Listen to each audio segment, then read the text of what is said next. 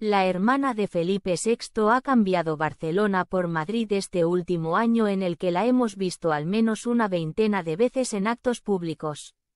¿Dónde vive la infanta Cristina?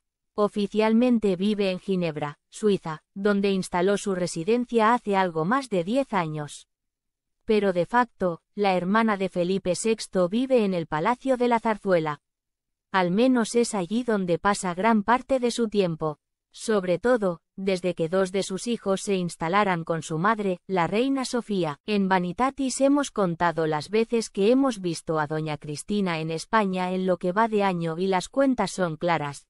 Al menos han sido una veintena las veces que ha sido fotografiada en actos públicos en territorio español en 2024.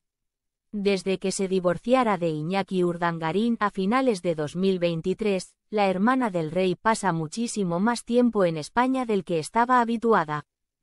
La soledad en Ginebra, ese nido vacío, ha hecho mella en su rutina y ahora ha decidido pasar mucho más tiempo con su familia y con sus amigos.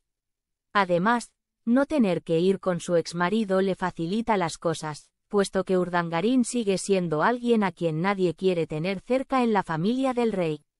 Así que ha habido bodas, partidos de balonmano, presentaciones oficiales, viajes, escapadas, compras.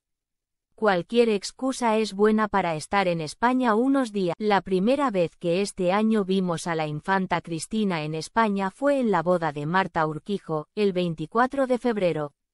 En enero había estado en Abu Dhabi celebrando el cumpleaños de su padre y después en la India y en Camboya acompañando a su hija Irene para instalarse en el campamento de cooperación en el que iba a pasar unos meses. La vuelta fue directa a España. Vino a nuestro país para asistir al citado enlace al que acudió además con su hermana, la infanta Elena, y su madre. En aquellos días, solía estar en Ginebra con más frecuencia porque allí se había mudado su tercer hijo, Miguel, quien quería aprovechar la temporada de nieve y sacarse el carné de monitor de esquí.